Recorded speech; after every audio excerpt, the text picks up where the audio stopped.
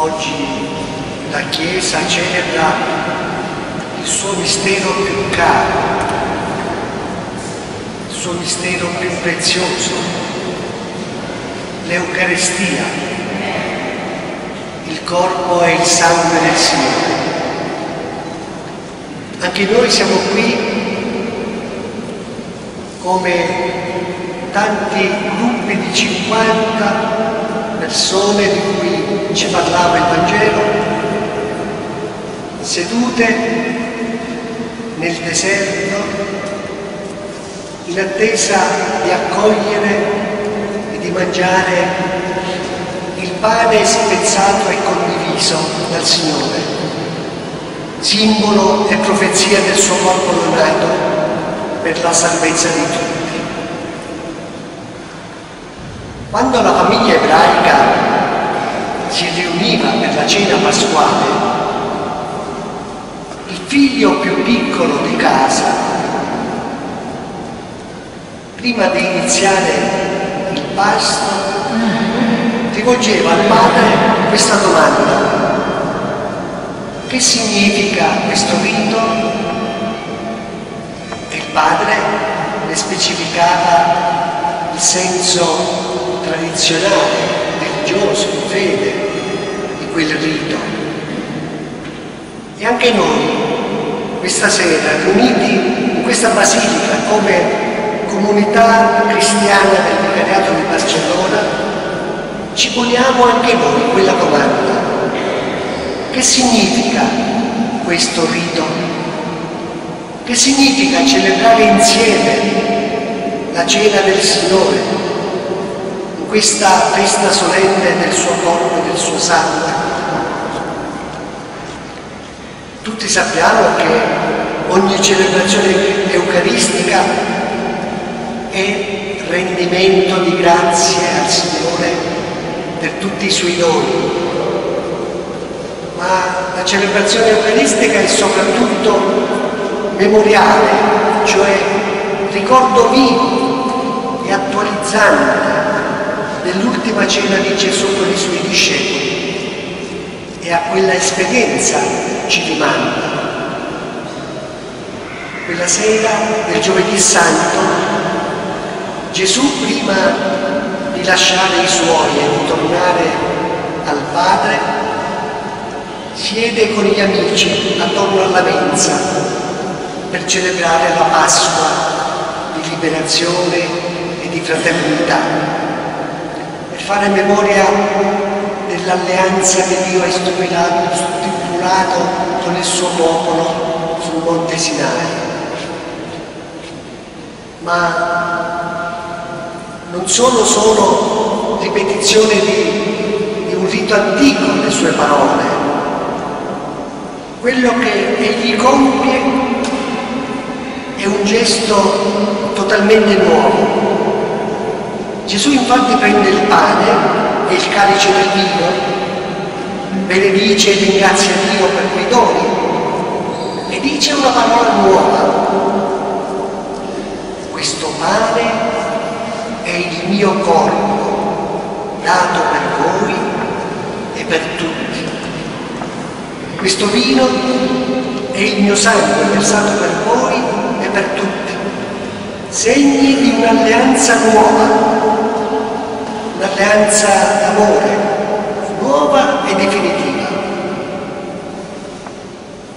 Al rito della tradizione della Pasqua ebraica, Gesù aggiunge delle parole che cambiano tutto, parole, parole con cui egli identifica la sua persona con quelle offerte, parole che indicano che è Lui stesso che si offre.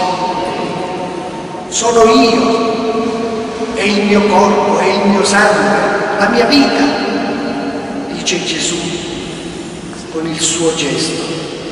E porgendo il pane e il calice agli amici, li invita a nutrirsi di Lui. Prendete e mangiatene tutte. Prendete e bevetele tutti.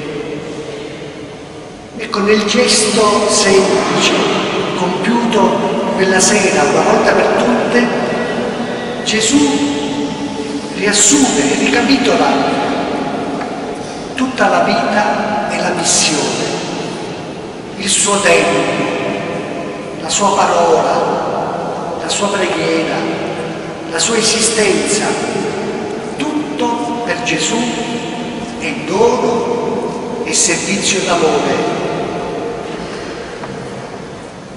reso ai fratelli. Nulla egli trattiene per sé.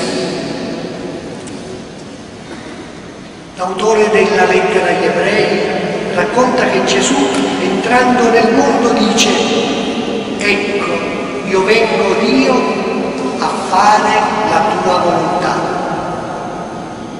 Quindi il pane spezzato e il vino versato, sacramento del suo corpo e del suo sangue, esprimono l'obbedienza di Gesù al progetto del Padre e la sua consacrazione ad un servizio d'amore per tutti gli uomini, per tutti noi.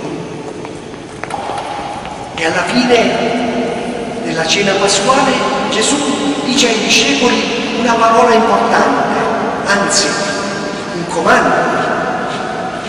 Fate questo in memoria di me. Fate della vostra vita un dono, fate della vostra vita un servizio d'amore a Dio e ai fratelli. E la Chiesa obbedisce al comando del Signore, celebrando ogni domenica, ogni giorno, l'Eucaristia, in memoria di Lui, in memoria del suo Signore. Purtroppo però dobbiamo riconoscere che spesso le celebrazioni delle nostre chiese rischiano di essere soltanto dei riti, riti belli, solenni se volete, con l'incenso, il suono dell'organo, il canto, ma soltanto riti che non incidono nella vita concreta, riti che mancano di un afflato vitale, perché mancano di quella carica d'amore che ci spinga a diventare persone e comunità eucaristiche, cioè capaci farci male per i fratelli. Nella scena che l'Evangelista ci ha descritto,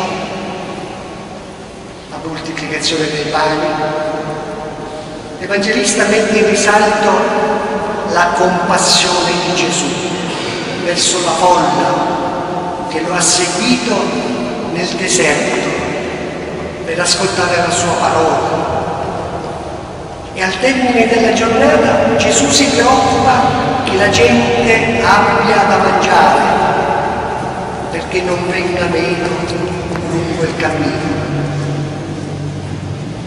Ecco una preoccupazione squisitamente umana, quella di Gesù, che dice ai discepoli, voi stessi date loro da mangiare. Bene, io penso che questa preoccupazione del Signore ci interpella, ci interpella come comunità cristiana, come singole persone credenti e interpella anche la società civile in nome di quella solidarietà umana nei confronti di chi è nel bisogno. Allora ripropongo l'interrogativo iniziale. Che significa questo rito? Per noi cristiani la celebrazione dell'Eucaristia è esperienza di fraternità, un'esperienza che ci rende solidari verso i poveri, Non possiamo dimenticare che l'Eucaristia è nata in un contesto di sofferenza, la sofferenza di Gesù, e deve rendere i cristiani uomini e donne, famiglie e comunità sensibili alle sofferenze e ai sofferenti, cominciando a quelli del territorio in cui viviamo in una delle preghiere eucaristiche chiediamo al Signore, donaci Signore occhi per vedere le necessità e le sofferenze dei fratelli, ma che ci impegniamo realmente al servizio dei poveri e dei sofferenti. Ecco, perché queste parole non siano parole vuote, alla luce di queste parole dobbiamo acquisire una consapevolezza. Noi come comunità cristiana che ogni domenica celebriamo l'Eucaristia non possiamo chiudere gli occhi di fronte al fenomeno dell'immigrazione che è diventata una tragedia umanitaria Infatti l'Eucaristia ci chiama ad assumere una responsabilità eucaristica che consiste nella continua ricerca di nuove forme di solidarietà e di fraternità verso questa gente che fugge dalla guerra, dagli stenti, dalla fame. Pertanto la domenica noi non possiamo celebrare l'Eucaristia. E al tempo stesso poi coltivare pensieri di ostracismo. O compiere gesti di disumanità verso i migranti che muoiono di fame, non solo per mancanza di pane o di acqua, ma anche perché noi non riconosciamo loro nemmeno la dignità di esseri umani come noi. Non è possibile essere uomini umani quando in chiesa durante la messa ci scambiamo il segno della pace e poi mostrarci disumani appena usciamo dalla chiesa. Questo non è possibile. Questo contraddice il nostro essere cristiani e il nostro fare assemblea eucaristica. Abbiamo dunque bisogno di un ripensamento e di una conversione, tutti. In questi giorni io ricordo i miei 50 anni di sacerdozio ministeriale questi 50 anni, 38 li ho vissuti fino ad oggi qui a Barcellona Pozzo di Volta. Ringrazio immensamente il Signore per il suo dono, consapevole però che il dono del sacerdozio ministeriale non è dato alla persona, è dato alla Chiesa perché la Chiesa venga edificata, costruita, anche attraverso il servizio ministeriale del presbitero. Ma al tempo stesso, oltre che ringraziare il Signore, chiedo perdono al Signore e chiedo perdono a voi fedeli per quelle volte che non ho celebrato l'Eucaristia se non con superficialità o per abitudine, senza lasciarmi toccare il cuore dall'amore del Signore. Per quelle volte che non mi sono lasciato rinnovare la vita dalla passione per il regno di Dio. E mi permetto di invitare anche i confratelli presbiteri a fare lo stesso ad associarsi a questa richiesta di perdono al Signore e ai loro fedeli affidati loro nel ministero. Il Signore converta le menti e i cuori di tutti noi, clero e fedeli, presbiteri, diavoli e laici, e ci renda consapevoli che nutrirci della parola del Signore e del suo corpo significa accogliere il suo amore compassionevole ci ha parlato l'Evangelista. Un amore compassionevole verso i piccoli e i poveri della storia. Se accogliamo e serviamo questi fratelli, noi accogliamo e serviamo Lui, il Signore, e abbiamo speranza che alla sera della nostra vita Lui, il Signore, dirà anche a noi, venite benedetti dal Padre mio, perché ho avuto fame e mi avete dato da mangiare, ho avuto sete e mi avete dato da bere, ero forestiero e mi avete accolto. E abbiamo speranza che il Signore, alla sera della nostra vita, dica a ciascuno di noi, vieni servo buono e fedele, prendi parte alla gioia del tuo Signore. Sia questo per tutti noi il senso autentico di questo è il frutto concreto della nostra celebrazione eucaristica, questa festa solenne del corpo e del sangue del Signore.